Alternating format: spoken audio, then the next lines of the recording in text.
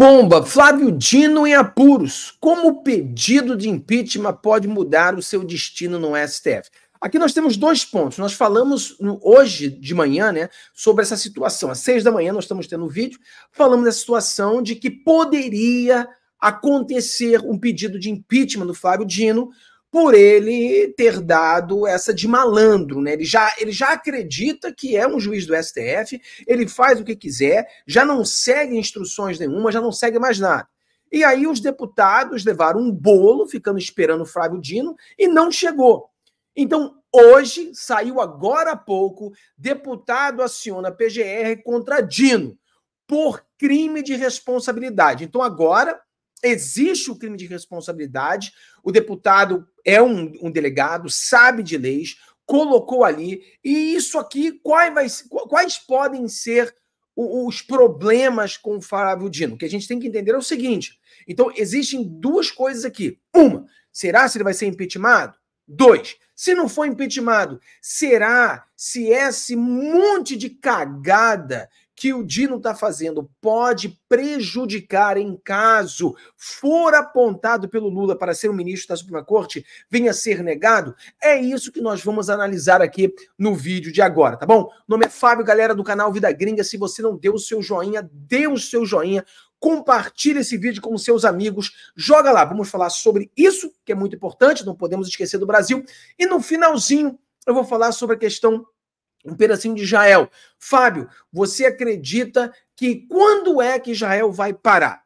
Bem simples. Eu acredito que Israel vai caçar todos, todos os terroristas de Hamas, até que nenhum deles existam mais. Desde o líder número um até o cara fraquinho, o carregador de água deles.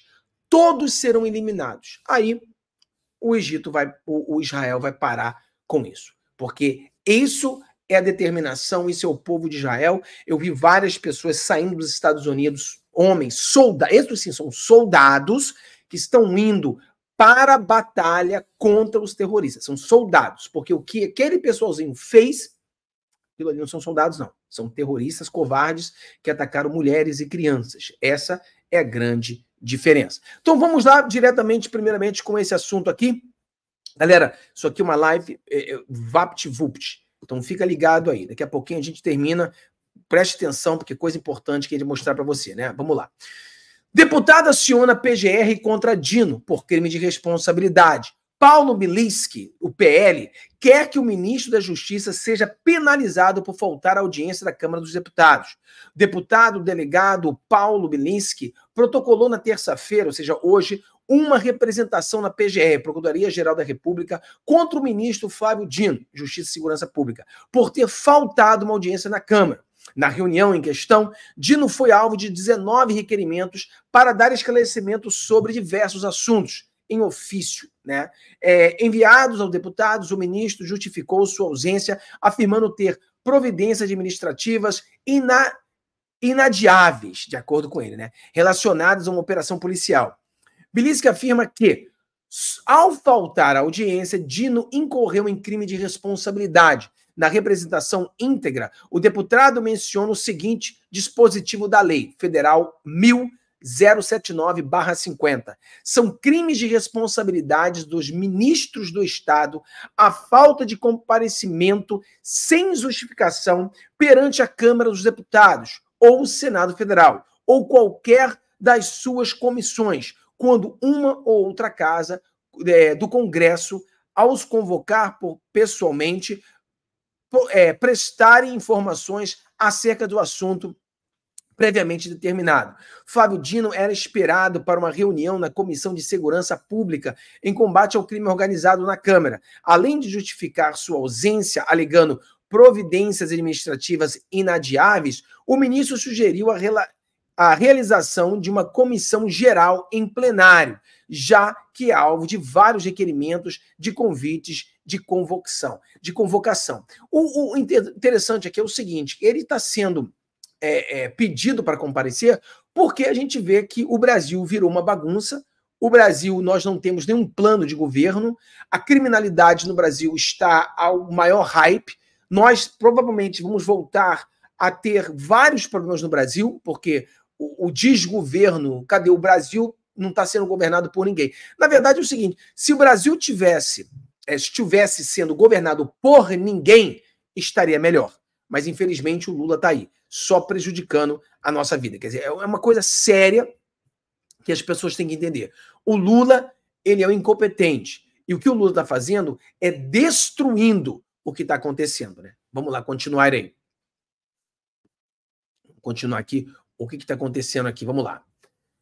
O presidente da comissão, deputado Sanderson do PL, afirmou que a reunião com o Dino foi convocada cumprindo todo o dispositivo legais, constitucionais e regimentais. Ele afirmou que a ausência do ministro é uma irresponsabilidade. A mensagem do ministro, justificando sua ausência, foi lida pelo deputado em reunião do colegiado. Segundo ele, o ofício foi recebido às 9 horas e 27 minutos. A audiência estava marcada para 9 horas. Olha só, pessoal, olha isso.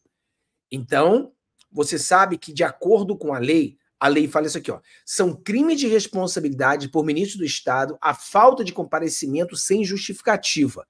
Só que ele fala assim: não, mas o, o Flávio Dino justificou. Ele justificou depois, não antes. Justificou depois. Quer dizer, você falta uma audiência e aí você justifica, faltou por causa disso. Aí, aí é tarde, né? Você tem que justificar antes da falta não faltar e justificar. Segundo ele, o ofício foi recebido às 9 horas e 27 minutos e a audiência está marcada para as 9. Anderson também disse que a agenda de Dino para terça-feira não tem compromissos oficiais previstos. Ou seja, aqui o deputado está chamando ele de mentiroso. Quem é que acha que o ministro é mentiroso? Levanta a mão aí, bota a mãozinha aí. Você acha que o ministro é mentiroso? Porque o que está acontecendo aqui é o seguinte: o, o, o Flávio Dino disse depois, é porque ele sabe que não comparecer poderia ter um impeachment, poderia ser um crime, né, de prevaricação, tá, tá, crime de responsabilidade, desculpa. Então o que acontece? Aí ele teve que arrumar uma desculpa, a desculpa foi depois da horário da reunião e teve que criar algo. Só que eles olharam a sua agenda, não existia. Então é uma agenda ultra secreta, porque ninguém viu essa agenda. Esse é o problema. Em 11 de abril, Dino já foi ouvido na Comissão de Segurança Pública. Na ocasião, a audiência foi encerrada antecipadamente, depois do bate-boca e discussão entre deputados tumultuarem a reunião. Dino tem sido alvo frequente de pedidos de, de, de, de deputados de oposição o ministro também está previsto para comparecer a uma reunião à CCJ, Comissão de Constituição e Justiça, no dia 25 de outubro. Então, por exemplo, é, é aquela coisa, mas Fábio, o negócio é o seguinte, Fábio, vamos na real. Eu não acredito que nada vai acontecer com o Dino, entendeu? Porque o Brasil virou uma palhaçada, é, as pessoas, realmente, as leis não são cumpridas, eles fazem o que eles querem, o Brasil virou uma bagunça.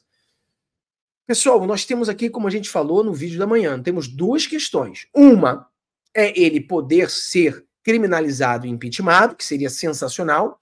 Duas, é a gente mostrar para os senadores que ele não pode ser um ministro sindicado por Lula. Lembrando a você que os próprios petistas não são muito afim do Dino.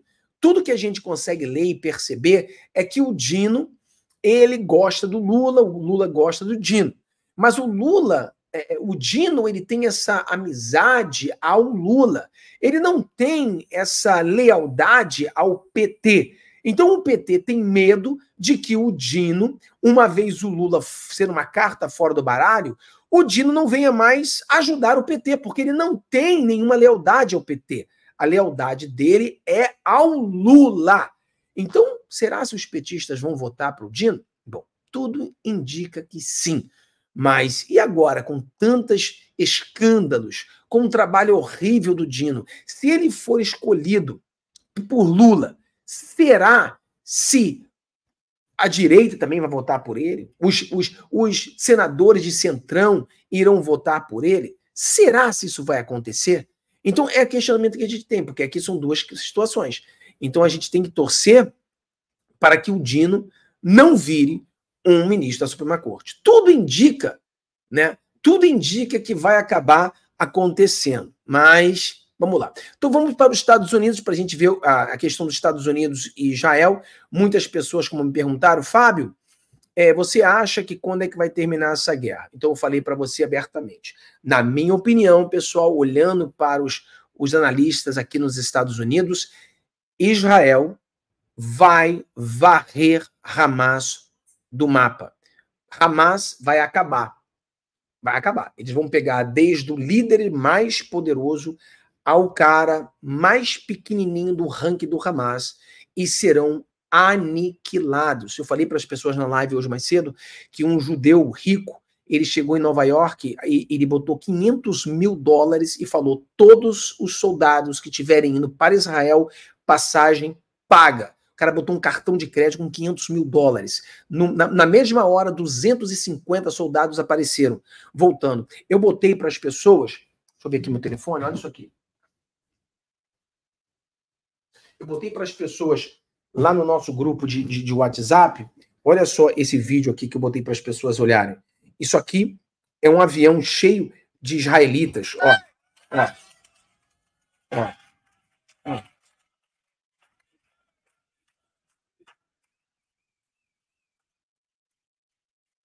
Então, aviões cheios de israelitas. E é homem e mulher, né? Soldado, mulheres soldado, homens soldados, indo para lutar. Porque o que foi feito foi uma coisa de monstro. E esses monstros têm que ser eliminados, entendeu? Não, é aquela coisa assim, um cara fala assim, ah, não, mas eles são como a mídia nojenta brasileira, a mídia porca, a mídia nojenta, dizendo que são soldados. Não são soldados. Ah, são militantes. Não são militantes. Eles são terroristas. Eu já expliquei para as pessoas. Se eles fossem soldados e se eles estivessem lutando para um Estado, lutando por um povo opressor, eles teriam atacado outros soldados.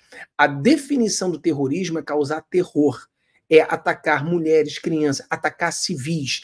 Eles atacaram os civis atacaram animais, crianças, bebês. Então, não tem como essa mídia nojenta brasileira continuar dizendo que eles são soldados, que eles estão lutando, são oprimidos. Isso aí só no Brasil.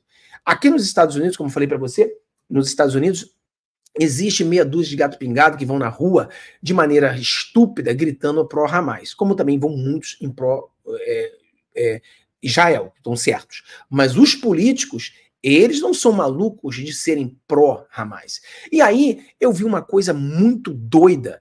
É uma mulher e aí, essa mulher, cara, na verdade, para você, eu nem sabia que desgraça era essa mulher, mas eu quero mostrar aqui para você. Essa mulher doida. Depois eu fiquei sabendo que é uma mulher que ela é uma.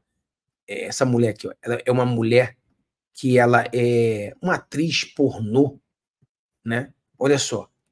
Mia Khalifa comemora ataques Hamas. Essa imbecil, quer dizer, olha, olha, olha o nível, né? Olha o nível. A mulher é uma atriz pornô. Aí perdeu todos os empregos. Perdeu a boca na, na, na, Playboy, perdeu a boca lá no outro negócio que ela também era. Quer dizer, perdeu tudo. Aí começou a chorar, dizendo que ela é pró isso, pró isso. Cara, não existe no mundo uma pessoa que tenha tudo funcionando que venha ver o que aconteceu com Israel e possa dizer ou possa estar do lado deles. É impossível, a não ser que você seja um monstro como esse. Então você